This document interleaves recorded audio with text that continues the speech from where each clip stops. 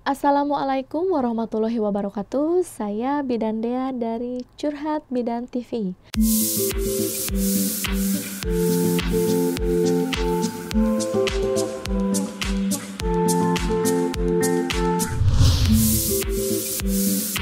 Pada kesempatan kali ini, saya akan memberikan informasi tentang beberapa penyebab darah menstruasi berwarna hitam dan menggumpal.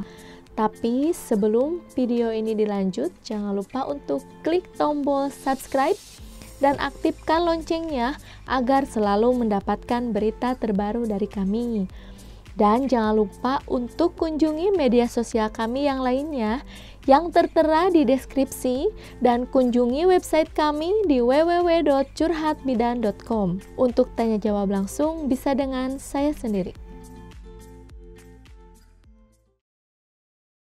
Menstruasi merupakan siklus bulanan yang terjadi pada wanita. Saat menstruasi, ada empat jenis warna darah yang mungkin keluar yaitu warna merah terang, merah pekat kecoklatan, serta oranye. Selain empat warna tadi, Bunda mungkin pernah mengalami hal itu darah yang menggumpal dan berwarna hitam. Warna darah menstruasi yang hitam dan menggumpal mungkin saja dikatakan normal karena darah tersebut tersimpan di dalam tubuh lebih lama. Selain itu, Tubuh kita biasanya melepaskan zat pencegah, namun ketika volume darah menstruasi sedang tinggi, zat tersebut biasanya tidak mencukupi waktu untuk mencegah pembekuan darah. Namun, bagaimana jika ada penyebab lain?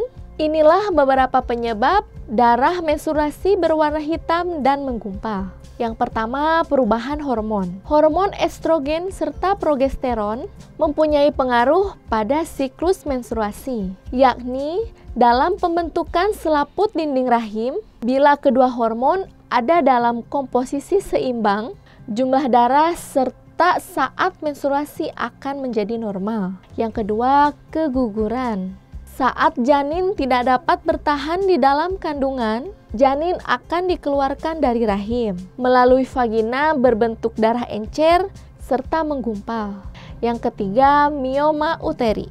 Hal ini sering kita sebut dengan tumor jinak yang ada di dalam uterus yang akan meluas ke endometrium. Penderita tumor jinak biasanya akan merasa nyeri ketika menstruasi, serta membuat darah menstruasi yang keluar akan semakin banyak dan menggumpal.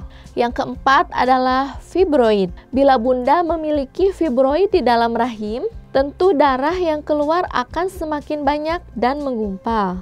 Kondisi ini tidak berpotensi untuk kanker, namun bisa menimbulkan nyeri saat datang bulan. Dan yang terakhir adalah infeksi rahim. Terjadinya infeksi pada rahim serta salurannya membuat siklus menstruasi menjadi lebih lama. Darah yang dikeluarkan menjadi semakin banyak dan menggumpal. Hal ini menyebabkan bunda mengalami resiko kesehatan seperti anemia. Bila bunda mengalami menstruasi yang hitam dan menggumpal, sebaiknya segera periksakan ke dokter. Nah, itulah tadi informasi mengenai beberapa penyebab darah menstruasi berwarna hitam dan menggumpal. Semoga video kali ini bisa bermanfaat bagi Anda dan bagi orang-orang di sekitar Anda. Jangan lupa untuk like, share, komen, dan subscribe agar selalu mendapatkan berita terbaru dari kami. Besar harapan kami, kami mampu memberikan informasi kesehatan yang bermanfaat bagi Anda dan bagi keluarga Indonesia yang sehat dan sejahtera. Wassalamualaikum warahmatullahi wabarakatuh.